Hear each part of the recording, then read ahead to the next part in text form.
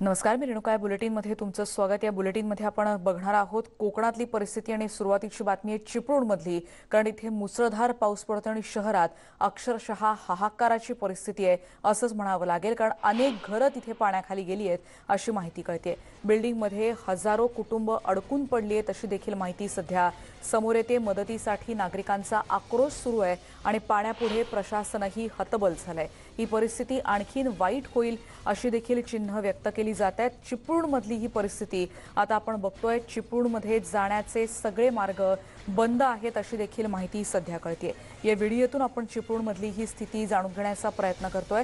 दुकानाच्या म्हणजे दुकानाचा काही भाग तर आपल्याला दिसत नाहीये. काही भागात फक्त छप्परच दिसते. दुकानातची परिस्थिती आपण बघितली पण काही इमारतींचे खालचे मजले पाण्याखाली गेले आहेत. ही आपण सिक्युरिटी गार्डचं केबिन बघतोय पण इथे देखील मोठ्या प्रमाणात पाणी शिरलेलं आहे. सगळ्या इमारत परिसरातली दृश्य जर आपण बघितली तर इथे मदतकार्य केले जात आहे. नागरिकांना वाचवण्यासाठी प्रयत्न तर जरूर केले जातील पण ढगफुटी सदृश पावसानं चिपळूण शहरात अक्षरशः हाहाकार उडालाय अशीच परिस्थिती सध्या आहे. त्यामुळे आपण बघतोय ढगफुटी सदृश पाऊस झालाय आणि चिपळूण शहरात प्रचंड पावसानं ही परिस्थिती सध्या ओढवलेली आहे.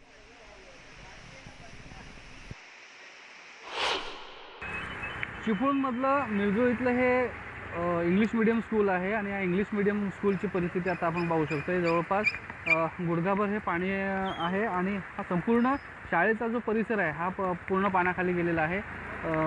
त्यावरून तुम्हाला अंदाज येईल की चिपळूण शहरातला पुराचा जो वेढा आहे हा किती धोकादायक आहे. चिपळूण शहरापासून जवळपास साडेतीन किलोमीटर अंतरावरची ही परिस्थिती तुम्ही पाहत आहे त्यामुळे ह्या संपूर्ण परिसरातलं जे जनजीवन आहे हा अक्षरशः विस्कळीत आहे. अनेक भागातली घ घरं आहेत. ही घरं पाण्याखाली गेल्यामुळे या ठिकाणचं नागरिक आहेत हे भीतीच्या छायाखाली आहेत. शाळा बंद आहे त्यामुळे काही अडचण नाही आहे मात्र ही शाळा ही नदीपासून जवळपास पन्नास मीटर पन्नास शंभर मीटर लांब आहे. शंभर मीटरहून जास्त खरं तर. हा संपूर्ण परिसर पाहतोय. या शाळेच्या मागचा हा रहिवासी भाग आहे. या रहिवासी भागामध्ये देखील मोठ्या प्रमाणात पाणी पाणी भरलेलं आहे. शाळेचं पूर्ण पठांगण आपण पाहतोय. रात्रभर शहरामध्ये पाऊस पडतोय चिपळूण शहरामध्ये. आणि त्याचा खूप मोठा फटका ह्या संपूर्ण शहराला बसलेला आहे. अनेक लोक लोक जे आहेत ती आपल्या सोसायटीमध्ये बिल्डिंगमध्ये वरती आहेत. मात्र पाण्याचा जो जोर आहे हा वा वाढत असल्यामुळे इथलं पाणी वेगाने वाढते त्यामुळे नो- नागरिक मोठ्या भीतीच्या शाळेखाली आहेत.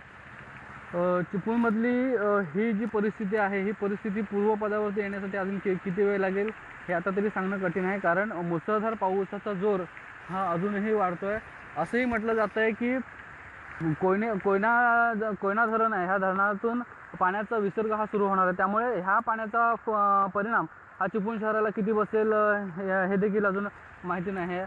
रात्रभर मुसळधार पाऊस पडतोय. म्हणजे अक्षरशः ढगफुटी म्हणायला हरकत नाही आहे. इतक्या मोठ्या प्रमाणात पाऊस पडतोय. चिपळूणमध्ये येणारे सगळे मार्ग सध्या वाहतुकीसाठी बंद करण्यात आलेले आहेत. याचं कारण असं आहे की संपूर्ण जो प- रस्त्याचा परिसर आहे हा पूर्ण परिसर पाण्याखाली आहे. ग्वागरमधून येणारे ज्या एस टी आहेत ह्या जवळपास दहा किलोमीटर अंतरावरतीच थांबवण्यात आलेल्या आहेत. कारण चिपळूण शहरातून जी न नदी येते वाशिष्ठी नदी ह्या नदीचं संपूर्ण पाणी ह्या मिरजोळी परिसरामध्ये आहे. मिरजोळी परिसर मी पुन्हा एकदा सांगतो. मिरजोळी परिसर हा चिपळूणपासून जवळपास तीन किलोमीटर अंतरावरती आहे. आणि असं असताना देखील तिथली ही परिस्थिती आहे. हा संपूर्ण इथला प आपण हे चित्र बघताय. हे मिरजोळी आहे नॅशनल इंग्लिश स्कूल आहे. न्यू इंग्लिश स्कूल आहे दलवाई स्कूल. इथली ही परिस्थिती आहे. इथे केव्हाही पाणी भरत नाही शक्यतो. असं सांगितलं जातं आहे की दोन हजार सहाला मो- मोठा पूर झाला होता. त्यानंतरची ही आत्ताची परिस्थिती बघायला मिळते असं म्हटलं जातं आहे म पण आत्ता पावसाचा जर जोर बघितला किंवा पावसाची एकूण परिस्थिती बघितली तर पाऊस हा पुढच्या काळामध्ये देखील वाढेल अशी शक्यता आहे. कुंभारली घाटामध्ये किंवा सह्याद्री घाट घाटमाथ्यावरती खूप मोठा पाऊस पडतो आहे त्यामुळे संपूर्ण ह्या भागामध्ये पूरस्थिती पूर स्थिती निर्माण झालेली आहे. खेर्डी परिसरामध्ये जवळपास आत्ताची परिस्थिती जवळजवळ साडेचार ते पाच फुटापर्यंत पाणी आहे. कॅमेरामन उमेशचा स्वप्नील घाग न्यूज एटीन लोकमत चिपळूण रत्नागिरी. चिपळूण शहरामध्ये मुसळधार पडणाऱ्या पावसामुळे पूरस्थिती निर्माण झालेली आहे. वाशिष्ठी आणि शिव नदी ही पूर्णपणे क्षमतेने भरून वाहते. त्यामुळे या नद्यांचं पाणी आजूबाजूच्या गावामध्ये शिरायला सुरुवात झालेली आहे. मी आत्ता आहे मिरजोळी या परिसरामध्ये जे मिरजोळी चिपळूण शहरापासून जवळपास तीन ते साडेतीन किलोमीटर अंतरावरती आहे. आपण पाहू शकताय की हा गुहागर चिपळूण मार्ग आहे. हा संपूर्ण पाण्याखाली गेल्यामुळे या मार्गावरची वाहतूक पूर्णपणे बंद झालेली आहे. चिपळूणमधून जो मुंबई गोवा महामार्ग जातो या महामार्गावरती देखील पूर्णपणे वाहतूक बंद करण्यात आलेली आहे. क चिपळूण कराड मार्ग हा पूर्णपणे बंद करण्यात आलेला आहे. एकूणच पूरस्थिती भयानक असल्यामुळे या संपूर्ण परिसरामध्ये अनेक ठिकाणी ज्या सोसायटी आहेत रहिवासी सोसायटी आहेत ह्या रहिवासी सोसायटीमध्ये पाणी गेल्यामुळे बचाव करण्याचं मोठं आव्हान आणि या संदर्भात आपण अधिक बोलणार आहोत. आमच्या प्रतिनिधींकडून देखील अधिक माहिती घेतोच आहोत आपण. पण चिपळूण शहरातली ही दृश्य आहेत आणि आमचे प्रतिनिधी स्वप्नील घाग यांनी या सगळ्या परिस्थितीचा आता आपल्याला अंदाज दिला. अधिक माहिती घेणार आहोत. या संदर्भात आणि तिथली काय परिस्थिती आहे? पालकमंत्री उदय सामंत आता आपल्यासोबत फोन लाईनवरून आहेत. उदय सामंतजी अक्षरशः हाहाकार आहे चिपळूण परिसरामध्ये. तुमच्यापर्यंत आता काय काय अधिक माहिती पोचली पोहोचली आहे? ही आम्हाला सविस्तर सांगाल. काय परिस्थिती आहे सध्या? बरोबर आहे. पाऊस रात्रभरामध्ये प्रचंड पडलेला आहे आणि पुराचं पाणी शहरामध्ये जवळजवळ साडेचार ते पाच फुटानं शिरलेलं आहे. नदीची पाण्याची पातळी सुद्धा वाढलेली असल्यामुळं एनडीआरएफची टीम आता अर्ध्या पाऊण तासामध्ये चिपळूणमध्ये पोहोचते. आम्ही कोस्टगार्डला देखील पत्र दिलेलं आहे. कोस्टगार्ड कोस्टगार्डला देखील सांगितलंय की हेलिकॉप्टरनं तातड- तातडीनं सर्वे करावा म्हणून. मी देखील स्वतः चिपळूणच्या परिसरामध्ये आता एक तासाभरामध्ये पोहोचणार आहे.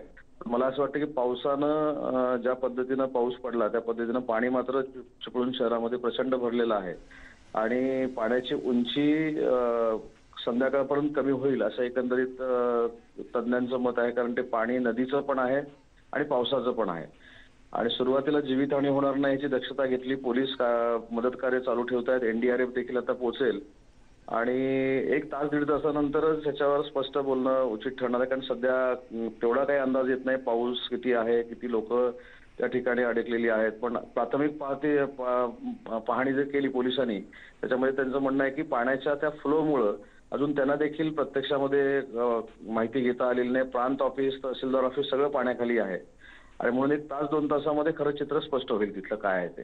निश्चित. उदयजी आणि आपण एकीकडे बघतोय की नागरिकांना म्हणजे इमारतीमध्ये काही नागरिक कदाचित वरच्या मजल्यापर्यंत पोहोचू शकतील. पण बचाव कार्याविषयी आणखीन काय मला माहिती देऊ शकाल? कारण आता जी माहिती मिळते त्याच्यानुसार आमचे प्रतिनिधी म्हणतायत किंवा काही नागरिक देखील तिथून म्हणतायत की दोन हजार पाच सहा नंतरचा हा सगळ्यात भयंकर पाऊस आहे? नक्कीच दोन हजार सहा नंतरचा हा भयंकर पाऊस आहे. मदत कार्याला जशी जशी सुरुवात होईल तशी तशी सुरुवात प्रशासनाने केलेली आहे. जिल्हाधिकारी त्याच्यानंतर विद्यमान पालकमंत्री हे देखील रत्नागिरीमध्ये आहेत. फक्त मुद्दा असा राहतो की ती मदत कार्य त्या लोकांपर्यंत पोचलं पाहिजे अशा पद्धतीची एक जी रचना करायची आहे. ती पावसामुळं आणि विशेषतः पाण्याची पातळी वाढल्यामुळं थोडीफार करता येत नाहीये. पण प्रांताधिकारी असतील तिथले तहसीलदार असतील सगळी पोलीस यंत्रणा असेल ही सगळी आपापल्या परीने तिथं मदत करण्याचा प्रयत्न करतायत. पण थोडंफार पाणी कमी झालं पाहिजे तरच आपल्याला तिथली वस्तुस्थिती फील्डवरची कळणार आहे. आणि त्या बाबतीत देखील प्रशासनाला आम्ही सतर्कतेच्या सूचना दिलेल्या आहेत.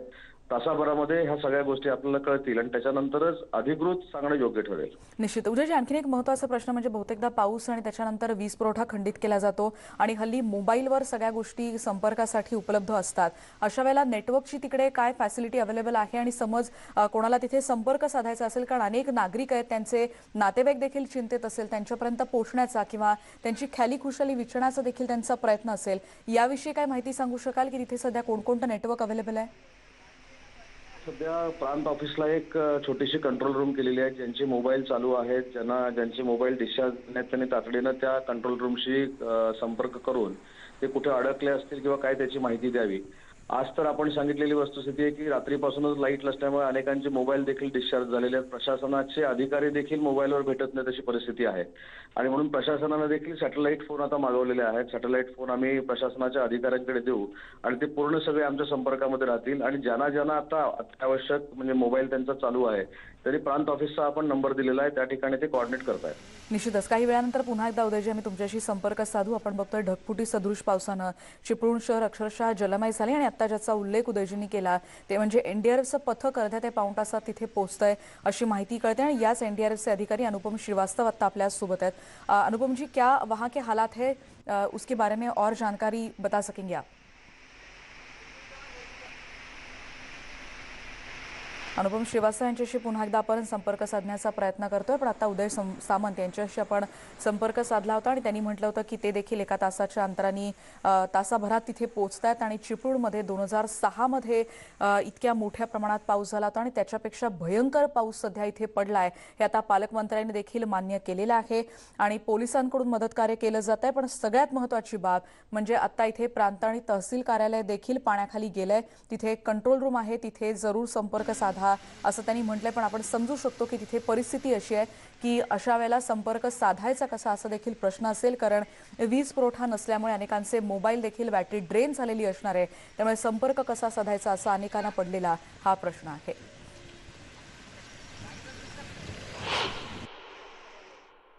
चिपळूण शहरामध्ये मुसळधार पडणाऱ्या पावसामुळे पूरस्थिती निर्माण झालेली आहे. वाशिष्ठी आणि शिव नदी ही पूर्णपणे क्षमतेने भरून वाहते. त्यामुळे या नद्यांचं पाणी आजूबाजूच्या गावामध्ये शिरायला सुरुवात झालेली आहे. मी आत्ता आहे मिरजोळी या परिसरामध्ये जे मिरजोळी चिपळूण शहरापासून जवळपास तीन ते साडेतीन किलोमीटर अंतरावरती आहे. आपण पाहू शकताय की हा गुहागर चिपळूण मार्ग आहे. हा संपूर्ण पाण्याखाली गेल्यामुळे या मार्गावरची वाहतूक पूर्णपणे बंद झालेली आहे. चिपळूणमधून जो मुंबई गोवा महामार्ग जातो या महामार्गावरती देखील पूर्णपणे वाहतूक बंद करण्यात आलेली आहे. क- चिपळूण कराड म- मार्ग हा पूर्णपणे बंद करण्यात आलेला आहे. एकूणच पूरस्थिती भयानक असल्यामुळे या संपूर्ण परिसरामध्ये अनेक ठिकाणी ज्या सोसायटी आहेत रहिवासी सोसायटी आहेत ह्या रहिवासी सोसायटीमध्ये पाणी गेल्यामुळे बचाव कार्याचं मोठं आव्हान प्रशासनासमोर आहे. चिपळूण प्रशासन ह्या संपूर्ण परिस्थितीवरती लक्ष ठेवून मदत कार्यासाठी सज्ज होत आहे. आत्ता मी ज्या ठिकाणी हे मिरजोळी परिसर आहे आणि आत्ता पण पाहतो इथे जवळपास गुडघाभर पाणी या ठिकाणी प- साठलेलं आहे. त्यामुळे आणखीन हा पावसाचा ज- जोड जोर वाढला तर या भागामध्ये परिस्थिती जी आहे ही आणखीन गंभीर होऊ शकते. एकूणच रा- रात्री दोन वाजल्यापासून चिपळूण शहरामध्ये प- पुराचं पाणी शि शिरण्यास सुरुवात झालेलं आहे. पेठमाप पेटमाप असेल गोळकोट असेल किंवा खेरडी परिसर असेल हा संपूर्ण परिसर सध्या पाण्यामध्ये आहे. अनेक सोसायट्या सोसायट्यांमध्ये पाणी गेल्यामुळे लोक अडकून आहेत असे देखील कळत आहे. मी आता ज्या ठिकाणी आहे त्या ठिकाणी आपण पाहतोय हा रस्त्याच्या पलीकडे मुंबईतून आलेली एक खाजगी बस आहे. ती बस ब- अडकून आहे ज्यामध्ये अनेक प्रवासी आहेत असं देखील कळत आहे. त्यामुळे एकूणच या ठिकाणी जी पूरस्थिती आहे ही अतिशय ग गंभीर होत चाललेली आहे. दिवसभर पावसाचा जर जोर वाढला तर चिपळूण शहराला मोठा धोका देखील निर्माण होऊ शकतो अशी स्थिती निर्माण झाली आहे. कॅमेरा मनवेसह स्वप्नील घाग न्यूज एटीन लोकमत चिपळूण रत्नागिरी. आणि अधिक माहिती आपण स्वप्नील आमचे प्रतिनिधी आता या सगळ्या परिसरात आहेत. स्वप्नील आपण चिपळूणमधली परिस्थिती बघतो आणि उदय सामंत यांच्याशी देखील जेव्हा संवाद साधला होता त्यांनी देखील मान्य केलं होतं की दोन हजार सहा नंतर पडलेला हा भयंकर पाऊस आहे असंच म्हणावं लागेल. सध्याचे काय अपडेट्स मिळत आहेत? कारण ते देखील म्हणतात की एनडीआरएफचं पथक देखील तिथे काही वेळातच पोहोचतं अशी देखील माहिती त्यांनी दिली होती. हो, नक्कीच. अक्षरशः कुठे आहे म्हणावं लागेल कारण इतक्या मोठ्या प्रमाणात पाऊस आहे. चिपळूण शहरामध्ये आहे. जवळपास चार ते पाच म्हणजे फुटापर्यंत पाणी हे चिपळूणपासून तीन किलोमीटर अंतरावरती जी गावं आहेत त्या गावांमध्ये शिरलंय म्हणजे यावरून आपल्याला अंदाज लावता येईल की चिपळूण शहरामध्ये काय परिस्थिती असू शकते. इथे अनेक कुटुंब जी आहेत ती मदतीसाठी प्रशासनाकडे अर्ज करत आहेत. मात्र प्रशासनाकडे नेमकं प्र- संपर्क साधायचा कसा हा देखील मोठा प्रश्न आता लोकांसमोर आहे. कारण एकही नंबर आपत्कालीन लागत नाहीये. त्यामुळे मदत कोणाकडे मागायची हा प्रश्न आहे. चिपळूणमधील खेरडी परिसर असेल चिंतनाका परिसर असेल किंवा तिकडे गोवळकोट असेल ह्या संपूर्ण परिसरामध्ये खूप मोठ्या प्रमाणात स्वप्नीलशी पुन्हा एकदा आपण संपर्क साधण्याचा प्रयत्न करतोय पण स्वप्नील जसं सांगतोय त्याप्रमाणे चिपळूण शहर परिसरातली ही दृश्य आता आपण बघतोच आहोत पण त्याच्या आजूबाजूच्या काही गावांमध्ये देखील तीन साडेतीन फुटांपर्यंत पाणी पोहोचलंय अशी माहिती सध्या आपल्याला आमचे प्रतिनिधी स्वप्नील घाग देत आहेत आणि उदय सामंत यांच्याशी आम्ही काही वेळापूर्वी संपर्क साधला होता. त्यांनी देखील म्हटलं होतं की एनडीआरएफचं पथक आता तिथे पोहोचतंय त्याच्यामुळे युद्ध पातळीवर तिथे आता बचाव कार्य केलं जाणार आहे. दोन हजार सहा नंतर पडणारा हा भयंकर पाऊस असल्याचं त्यांनी म्हटलंय. पोलिसांकडून मदत कार्य सध्या सुरू आहे. पण या मोठ्या पावसामुळे सध्या प्रांत आणि तहसील कार्यालय देखील पाण्याखाली गेले अशी माहिती देखील आता त्यांनी दिली आहे. त्याचबरोबर या सगळ्या परिसरात म्हणजे काही ठिकाणी आपण समजू शकतो की इमारतीमध्ये काही वरच्या मजल्यांवर किंवा गच्चीपर्यंत तुम्ही पोहोचू शकाल पण खालच्या मजल्यात जर कोणी आणखीन तळमजल्यावर कोणी अडकलं असेल दुकानांमध्ये काही किती मोठं नुकसान झालं या सगळ्याचा अंदाज येऊ शकेल. ही पाणी पातळी जर कमी झाली तर आपल्याला अंदाज येऊ शकेल आणि पाणी ओसरणं हीच आत्ताची सगळ्यात मोठी गरज आहे. पण हे पाणी कधी ओसरणार या प्रश्नाचं उत्तर सध्या तरी आपल्याकडे नाही. चिपळूणमधली परिस्थिती आपण बघितली आणि सलग पडणाऱ्या मुसळधार पावसामुळे रत्नागिरी जिल्ह्यातल्या खेडमध्ये सगळं जनजीवन विस्कळीत झालंय.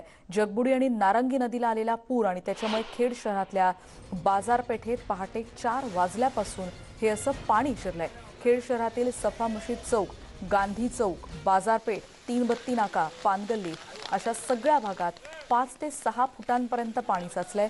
गाड्या पाण्याखाली गेल्यात. त्यामुळे शेकडो नागरिक अचानक आलेल्या पुरामुळे घरातच अडकलेले आहेत. स्थानिकांच्या मदतीनं काही वयोवृद्ध नागरिकांची देखील इथे सुटका केली जाते. इथे सुरक्षित ठिकाणी हलवण्यासाठी रेस्क्यू टीम आणि खेड नगरपालिकेची आपत्ती व्यवस्थापनाची टीम देखील पहाटेपासून अशा प्रयत्नात आहे. ही दृश्य सध्या आपण बघतोय. नारंगी नदीला देखील पूर आलाय आणि खेडमध्ये कशा रीतीनं बचाव कार्य सुरू आहे. खेडमधल्या खाडीपट्टा विभागातल्या पंचवीस ते तीस गावांचा संपर्क तुटलाय अशी माहिती कळते नारंगी नदीला पूर आलाय. त्यामुळे खेड दापोली आणि मंडणगड या तीन तालुक्यांचा संपर्क पूर्णपणे तुटलेला आहे. त्यामुळे खेडमधली ही सध्याची परिस्थिती. आपण आता रत्नागिरी जिल्ह्यातल्या खेडमध्ये आहोत आणि खेडमध्ये मुसळधार पडणाऱ्या अगदी ढगफुटीप्रमाणे पडणाऱ्या पावसामुळे जगबुडी आणि नारंगी या दोन्ही नदीनं धोक्याची पातळी ओलांडलेली आहे आणि खेडच्या बाजारपेठेमध्ये पाणी भरलेलं आहे. आपण जर माझ्या आपण बाजूला जर बघितलं तर या ठिकाणी पूर्णपणे जी खेडची बाजारपेठ आहे ही पाण्याखाली गेलेली आपल्याला पाहायला मिळते. पाच ते सहा फूट पाणी जे आहे हे या बाजारपेठेमध्ये आहे आणि अनेक लोक जे आहेत हे या ठिकाणी अडकून आहेत बाजारामध्ये. झोपडपट्टी असेल नदी किनारची तिथल्या जवळपास साठ ते सत्तर लोकांना खेड नगरपालिकेने जे आहे ते स्थलांतरित केलेलं आहे रेस्क्यू टीमच्या मदतीनं. बाजारपेठेमध्ये सहा ते सात फूट पाणी आहे त्यामुळे ज्या घरामध्ये पाणी शिरले आता जे अपार्टमेंट आहेत ते लोक टेरेसवरती सुरक्षित ठिकाणी आहेत. पण जी घरं आहेत त्या घरामधल्या लोकांना सुरक्षित काढण्यासाठी आता रेस्क्यू टीम आणि खेड नगरपालिकेची जी आपत्ती व्यवस्थापनची टीम आहे हे आता पूर्णपणे प्रयत्न करते. पोलीस घटनास्थळी आहेत. खेड जो भोसते मार्ग आहे तो देखील बंद केलेला आहे. एकंदरीतच बघितलं तर जवळपास दोन हजार पाच नंतर पहिल्यांदा या अशा प्रकारच्या परिस्थितीला या ठिकाणी सामोरं जावं लागते कारण पंधरा वर्षानंतर असा पाऊस आणि एवढं पाणी हे पहिल्यांदाच पाहिलेलं पहिल्यांदाच पाहायला मिळते आता एकंदरीत बघितलं तर प्रशासनाने या ठिकाणी आता कुणी घराबाहेर पडू नका सुरक्षित राहा आणि काहीही अडचण असल्यास आपत्ती व्यवस्थापनच्या नंबरवरती फोन करा असं आव्हान या ठिकाणी प्रशासनाने केलेलं पाहायला मिळते चंद्रकांत मनकर न्यूज एटीन लोकमत खेड रत्नागिरी. रत्नागिरी जिल्ह्यातल्या खेडमध्ये गेल्या सलग पडणाऱ्या मुसळधार पावसामुळे पूर परिस्थिती निर्माण झालेली पाहायला मिळते. तर संपूर्ण खेड शहर हे आता पाण्याखाली गेलेलं आहे. आणि माझ्या पाठीमागे जर आपण बघितलं तर शासकीय कोविड केअर सेंटर आहे आणि या कोविड केअर सेंटरमध्ये पाणी शिरलेलं आहे. या ठिकाणी गाडी देखील पाण्याखाली गेलेली आहे. एक अनेक रुग्ण जे आहेत ते तीस ते चाळीस रुग्ण या ठिकाणी अडकलेले आहेत. एकंदरीतच बघितलं तर आपण या बाजूला बघितलं तर संपूर्ण खेड शहरामध्ये रेस्क्यू ऑपरेशन सुरू आहे. का मध्यरात्री या ठिकाणी पाऊस पडला पाणी पाणी भरलं आणि संपूर्ण बाजारपेठ जी आहे ही पाण्याखाली गेलेली आहे. खेड खेडच्या जगबुडी नदीनं रुद्रावतार धारण केलेला आहे नारंगी नदीनं रुद्रावतार धारण केलेला आहे. खेड आणि दापोली मंडणगड या तीन तालुक्याचा संपर्क तुटलेला आहे. तर खेडमधल्या खाडीपट्टा विभागातल्या वीस गावांचा देखील संपर्क या ठिकाणी तुटलेला आहे. खेड शहरामध्ये जी रेस्क्यू टीम आहे जी खेड नगरपालिकेची जी आपत्ती व्यवस्थापनची टीम आहे ती आता ज्या अडकलेल्या लोकांना या ठिकाणी मदत करते सुरक्षित बाहेर काढते त्याचबरोबर नदीकाठच्या जवळपास सत्तर ते ऐंशी लोकांना या ठिकाणी सुरक्षित ठिकाणी हलवलेलं आहे. मुंबई गोवा महामार्गाचा जुना पूल आहे त्याच्यावरून पाणी जाते तर भोसते खेड भोसते मार्ग पूल जो आहे तो पूल वाहतुकीसाठी देखील बंद केलेला आहे. एकंदरीतच बघितलं तर संपूर्ण जनजीवन या ठिकाणी विस्कळीत झालेलं आपल्याला पाहायला मिळतं. चंद्रकांत बनकर न्यूज एटीन लोकमत खेळ आता आपण अधिक माहिती घेणार आहोत चंद्रकांत आता आपल्यासोबत आहे. चंद्रकांत आपण काही ठिकाणी रेस्क्यू ऑपरेशनची देखील आता फुटेज स्क्रीनवर बघतोय. कशा रीतीनं त्यांना मदत कार्य केलं जात आहे? ही टीम कशा रीतीनं कार्यरत आहे तिकडे? हो नक्की कारण अजूनही पहाटे वाजल्यापासून या ऑपरेशन जे आहे हे खेड शहरामध्ये आणि अन्य ठिकाणी सुरू आहे. शेकडो लोक जे आहेत हे बाजारपेठेमध्ये मोहल्ल्यामध्ये अडकून आहेत. खेडमध्ये जवळपास जे जे अपार्टमेंटमध्ये राहणारी लोक आहेत ते वरच्या मजल्यावर छतावर सुरक्षित ठिकाणी आहेत. मात्र जे आहेत तिथले लोक काढण्याचं काम सुरू आहे. खेड शहरामध्ये जे निवाचा निवासा तळ आहे त्या ठिकाणी जी मोठ्या प्रमाणावर झोपडपट्टी आहेत तिथल्या लोकांना तब्बल तीन ते आठ तासात प्रयत्न करून रेस्क्यू टीमनं खेड नगरपालिकेच्या या ठिकाणी त्यांना सुरक्षित काढलेले आहे. त्यामध्ये काही महिला आहेत काही वयोवृद्ध लोक आहेत काही आदरी लोक आहेत. त्यांना देखील त्या ठिकाणी काढलेलं आहे. आणि महत्वाचं म्हणजे खेडमध्ये जे अलसूर गाव आहे या अलसूर गावाला चारही बाजूनं जगबुडी नदीच्या पुराच्या पाण्यानं वेढा दिलेला आहे. परंतु त्या गावात जाण्यासाठी प्रशासनाला किंवा मदतकार्य पोहोचू शकत नाही कारण दोन्ही त्या गावात जाण्यासाठी दोन्ही मार्ग जे आहेत ते दोन्ही मार्ग मार्गावर पुराचं पाणी असल्यामुळे मदत त्या ठिकाणी पोहोचू शकत नाही. या ठिकाणी ज्या ज्या- स्पीड बोटी आहेत त्या दोन स्पीड बोटी आहेत मात्र नदीचा प्रवाह इतका वेगवान आहे की त्या बोटी त्या नदीच्या पाण्यामधून त्या गावामध्ये नेणं शक्य नाहीये. बघणाऱ्या लोकांची फार मोठी गर्दी या ठिकाणी होते. खेडमध्ये जो भोसते पूल आहे हा वाहतुकीसाठी बंद केलेला आहे. जगबुडी नदीचा जो जुना पूल आहे त्या पुलावरून आता सध्या पायी वाहू लागलेले आहे. खेड खेड- संपूर्ण खेड शहर जे आहे हे खेडची बाजारपेठ आहे मोहल्ला आहे. संपूर्ण मोहल्ल्यामध्ये पाच सात फूट पाणी या ठिकाणी आहे. आणि महत्वाचं म्हणजे सौ गाड्या असतील पार्किंग मधल्या भाजी मंडई असेल खेड नगरपालिकेची इमारत असेल वैद्य दवाखाने असतील कोविड केअर सेंटर असेल सर्व ठिकाणी पार भरलेला आहे. त्याचबरोबर ज्या जी लोक रेस्क्यू ऑपरेशन करून काढली जात आहेत त्यांना शाळांमध्ये किंवा इतर काही मोठे हॉल आहेत त्या हॉलमध्ये ठेवलं जात आहे. ज्या- ठिकाणी मोठमोठे शासकीय अधिकारी राहतात त्या बिल्डिंगला देखील पाण्यानं घेरलेलं आहे. त्याचबरोबर मुंबई गोवा महामार्गावरती देखील अनेक ठिकाणी पाणी असल्यामुळं वाहतूक जी आहे ही काही ठिकाणी बंद केलेली आहे. देखील अनेक ठिकाणी पाणी साठल्यामुळे तिथली वाहतूक बंद आहे त्याचाही परिणाम होत आहे. अंतर्गत मार्ग बंद आहेत आणि महत्वाची चिंतेची बाब ही आहे की सध्या खेड शहरामध्ये तरी जी लोक आहेत पण जे जिथे आहेत सुरक्षित आहेत. कुठेही जीवितहानी झाल्याचं वृत्त आतापर्यंत तरी नाही. मात्र खाडीपट्टा विभागामध्ये जी वीस गावं आहेत मुमके असतील कोरेगाव असेल त्या संगलट असेल शिरशी असेल चौनस असेल ही जी वीस गावं अशा प्रकारची आहेत त्यांचा पूर्णपणे संपर्क तुटलेला आहे. आणि महत्वाचं म्हणजे जे आसूर मोहल्ला आहे आसूर मोहल्ल्यामध्ये पूर्ण घरामध्ये लोकांच्या पाणी शिरलेलं आहे. निश्चित याविषयी अधिक माहिती घेण्यासाठी पुन्हा एकदा चंद्रकांत येतोय आता तुमच्याकडे आणि अनुपम श्रीवास्तव एनडीएफचे अधिकारी आता आपल्या सोबत आहेत. अनुपम जी न्यूज़ एटीन लोकमत में और जानकारी आपसे जानना चाहेंगे क्योंकि खेड के हालात हम अभी देख रहे हैं बहुत ही बुरा हाल है वहाँ का और कोकण की जो स्थिति है वहाँ के हालात की जो स्थिति है वहाँ के और क्या अपडेट्स है आपके पास और कैसे यहाँ पे रेस्क्यू ऑपरेशन किया जाएगा? जी, इसमें अभी हालात तो खराब हो रहे हैं। अभी बारिश काफ़ी हुई है। पूरे कोंकण बेल्ट में पालघर थाने से और रायगढ़, रत्नागिरी, सिंधुदुर्ग इंक्लूडिंग मुंबई। मुंबई में कल बारिश थोड़ी हल्की रही, परंतु बाकी जिलों में काफ़ी बारिश रही है। तो जिसके मद्देनजर हमने तुरंत आज सुबह ही एक टीम पालघर में, एक टीम थाने में और चार टीमें हमने मुंबई में रखी हुई हैं। इसके साथ ही साथ दो टीमें कोल्हापुर भिजवा दी हैं और एक टीम रत्नागिरी के चिपलून इलाके में भिजवाई हैं। इसको देखते हुए बारिश को देखते हुए हमने और भी टीमें अपने अलर्ट हाई अलर्ट पे रखी हुई हैं। और जैसे ही जिला प्रशासन की तरफ़ से कोई डिमांड आती है कोई मांग आती है तो हमारी टीमें तुरंत रवाना होंगी। जी जी अपने साथ सारी तरह के सामान वगैरह बोट्स वगैरह लेकर गई हैं और किसी भी हालत को हम समझते हैं कि निपटने में सक्षम होंगे। किसी भी तरह का जो कोई अगर फंसा है उसको निकालने में सक्षम होंगे। जी जिस टीम के बारे में सर आप बात कर रहे थे कोकण में भी आपने एक टीम भेजी है वो टीम कहाँ पे जाएगी और कितने लोग रहते हैं ये टीम में और उनका काम करने का तरीका कैसे रहता है और प्रायोरिटी वाइज आपका काम कैसे डिसाइड होता है? जी इसमें हमने रत्नागिरी में एक टीम भेजी है जो कि चिपलून में अभी फ़िलहाल भेजी है जो कि लो लाइंग एरिया है तो वहाँ पर पानी काफ़ी भरा है। साथ ही साथ रायगढ़ में हमने दो टीम भेजी है सॉरी कोल्हापुर में दो टीम भेजी है और अ, हमारी एक टीम में पैंतालीस लोग रहते हैं और उसमें ज़रूरत के हिसाब से बोट्स रहती है। जनरली चार या पाँच बोर्ड्स रहती हैं जो कि एक बोर्ड होती है दस बारह लोगों को कैरी करती है।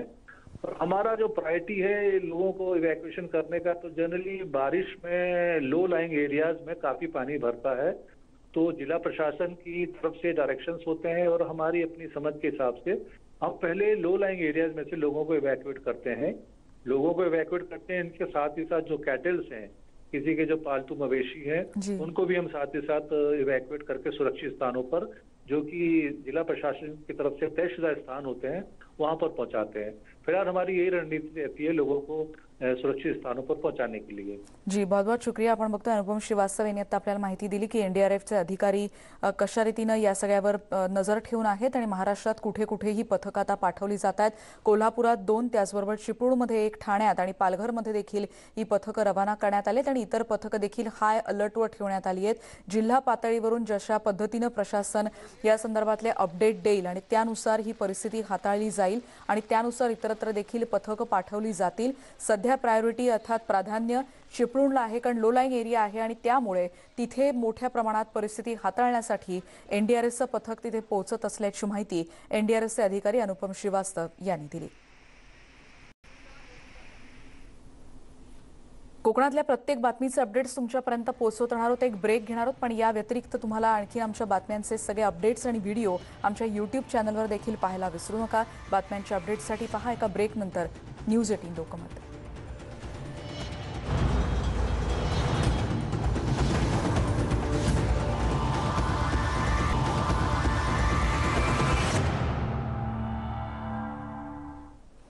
आणि ब्रेकनंतर एक महत्वाची बातमी आता महाडमधली इथे देखील पूरस्थिती निर्माण झाल्याची माहिती कळते. इथे देखील नागरिकांच्या घरांमध्ये पाणी शिरलंय असे अपडेट्स आता कळत आहेत. त्यामुळे कोकणातल्या पावसाचे सगळे अपडेट्स आम्ही तुमच्यापर्यंत पोहोचवतोय. मुसळधार पावसाचा फटका आता महाडला देखील बसलाय.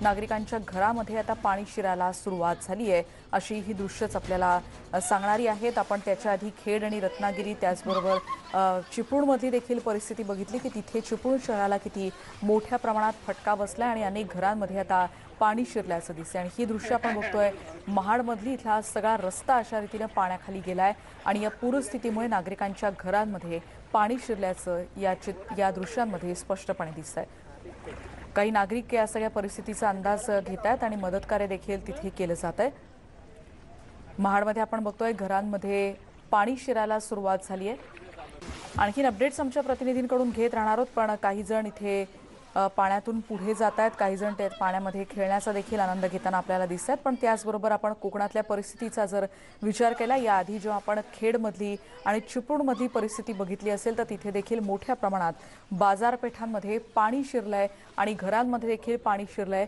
दोन हजार सहा नंतरचा हा सगळ्यात मोठा आणि भयंकर पाऊस असल्याचं तिथे म्हटलं जात आहे आणि एन डी आर एफची टीम देखील काही वेळातच तिथे पोहोचते आहे. तोपर्यंत आपण बघतोय महाडमधली ही स्थिती.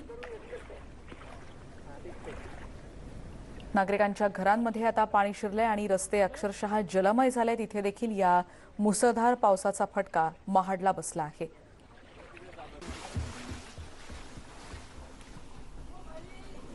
काही वेळापूर्वी आपण खेडमधली परिस्थिती बघितली आणि आपल्याला माहिती आहे की तिथे देखील काही कोविड सेंटर असतील तिथे पस्तीस ते चाळीस रुग्णांवर अजूनही उपचार सुरू आहेत अशी खेडमधली स्थिती होती आणि पालकमंत्री उदय सामंत देखील काही वेळातच तिथे पोहोचणार होते. दरम्यान महाडमधल्या स्थितीविषयी आपण अधिक बोलणार आहोत. संदीप मोरे आमचे प्रतिनिधी आता आपल्यासोबत आहेत. संदीप आत्ताचे काय अधिक माहिती मिळते महाडमधली? रेणुका काल संध्याकाळी साडेपाच नंतर जे महाड बाजारपेठेमध्ये पाणी भरलेलं आहे ते अजूनही ओसरलेलं नाही आणि आता परिस्थिती अशी आहे की गेले दोन हजार पाच पूर्वी जो पूर आला होता त्या पुरामध्ये जेवढं पाणी नव्हतं त्याच्यापेक्षा यावेळी कमीत कमी तीन ते चार फूट पाणी आहे आणि बाजारपेठ आता पूर्ण पाण्याखाली आहे आणि अक्षरशः जी दुकानं आहेत बाजारपेठमधली ती पूर्ण पाण्याखाली आहेत. त्याच्यामुळे महाडमध्ये खूप या पुरामुळे नुकसान झालेलं आहे. रेणुका. खरंय. संदीप आणि जसं तुम्ही म्हणालात की बाजारपेठांविषयी तुम्ही आम्हाला माहिती दिलीत पण निवासी भाग किती या सगळ्यामुळे अफेक्ट झालाय? त्या भागातली काही अधिक माहिती कळू शकली आहे? हा महाड हा पूर्ण तालुका आहे आणि या तालुकाचं ठिकाण असल्यामुळे महाड शहर पोलीस स्टेशन ग्रामीण त्याच्यानंतर तालुका प्रांत प्रांत ऑफिस किंवा तहसील ऑफिस हे पूर्ण तालुका जो आहे हा इतर बाकीच्या ग्रामीण भागापासून संपर्क तुटल्यात म्हणायला काय वावगं ठरणार नाही. कारण शहरामध्ये पूर्ण पाणी आहे आणि सगळ्यात जास्त जी बाजारपेठ हा सकल भाग असल्यामुळे सगळ्यात जास्त पाणी आहे. जिकडे म- काजळपुरा मोहल्ला आहे आणि बाजारपेठ आहे. त्याच्यानंतर जे गाडीचं म्हणतात किंवा कुंभाराळी असे जे भाग आहेत हा पूर्णपणे पाण्याखाली येतो आणि यावेळेस तर एवढं पाणी आलंय की अक्षरशः हायवेला टच झालेलं आहे पाणी. रेणुका धन्यवाद संदीप. या सगळ्या सविस्तर माहितीबद्दल आपण बघतोय महाडमधली ही पूरस्थिती आणि नागरिकांच्या घरात पाणी शिरायला आता सुरुवात झाली आहे आणि बाजारपेठेचं देखील अतोनात नुकसान झालंय. आणि यानंतर एक ब्रेक घेणार आहोत पण ब्रेकवर जाण्याआधी आमच्या युट्यूब चॅनलला नक्की भेट द्या आणि तुम्ही कुठेही असाल म्हणजे अगदी घरी प्रवासात किंवा ऑफिसमध्ये देखील असाल तर आमच्या या युट्यूब चॅनलवर तुम्ही महत्त्वाच्या घडामोडी आणि त्याचे अपडेट्स निश्चितच पाहू शकता. त्यामुळे आमच्या युट्यूब चॅनलवर नक्की भेट द्या.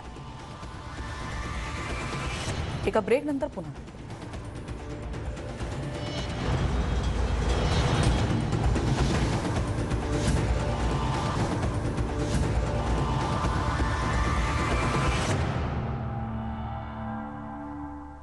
आणि ब्रेकनंतर आपण बातमी बघणार आहोत. रायगड जिल्ह्यात कर्जतमध्ये उल्हास नदीला पूर आला आणि त्यामुळे कर्जत शहरात पाणी मोठ्या प्रमाणात शिरलंय. रात्रभरच्या मुसळधार पावसामुळे घरांमध्ये आणि सोसायट्यांमध्ये असं पाण्याचंच साम्राज्य आहे. रस्त्यांवर मोठ्या प्रमाणात पाणी साचलंय आणि इथली काही वाहनं देखील पाण्याखाली गेली आहेत. कर्जतमधल्या श्रीराम पुलापर्यंत पाणी पातळी वाढली आहे. गाड्यांचं नुकसान होताना आपण बघतोय आणि दहिवली राष्ट्रवादी भवनपर्यंत इथे नदीचं पाणी पोहोचलंय. काही दुचाकी देखील आपण बघतोय पाण्याखाली गेल्यात. दहिवली इथे गणेश घाट इंदिरानगर कोतवाल नगर इथे पाणी दोन ते चार फा- दोन ते चार फुटांपर्यंत पोहोचलंय अशी माहिती कळते कर्जत तालुक्यात बीड ग्रामपंचायतमधल्या आठ गावांना जोडणाऱ्या उल्हास नदीवरच्या मोहिल इथल्या पुलाचे दोन्ही भाग वाहून गेलेत असं आहे परिणामस्वरूप इथल्या परिणामी इथल्या आठ गावांमधल्या संपर्क तुटलाय अशी देखील माहिती सध्या कळते त्यामुळे कर्जतमधली ही स्थिती आहे. राज्यभरातल्या अशाच सगळ्या बातम्यांचे अपडेट्स आम्ही तुमच्यापर्यंत पोहोचवत राहणार आहोत. एका ब्रेकनंतर पुन्हा भेटूयात. पहा फक्त मुद्दा महाराष्ट्राचा.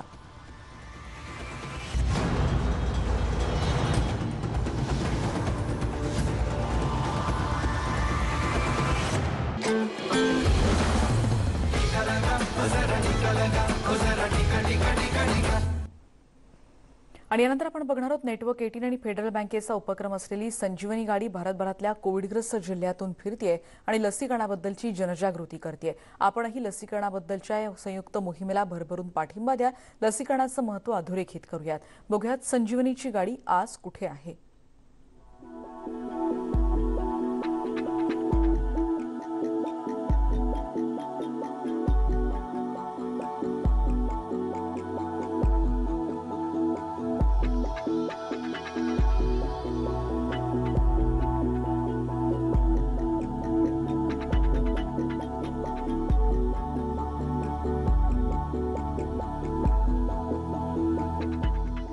आणि सगळ्या बातम्यांचे अपडेट्स आपण येणाऱ्या बुलेटिनमध्ये देखील पाहत राहणार आहोत. पण जाताना एक महत्त्वाची आठवण या सगळ्या बातम्यांचे व्हिडिओज आणि अधिक तपशीलवार बातमी तुम्ही बघू शकता आमच्या यूट्यूब चॅनलवर आणि तिथे सबस्क्राईब करायला विसरू नका. आणि या सगळ्याचे व्हिडिओ तिथे देखील आपण पाहू शकाल.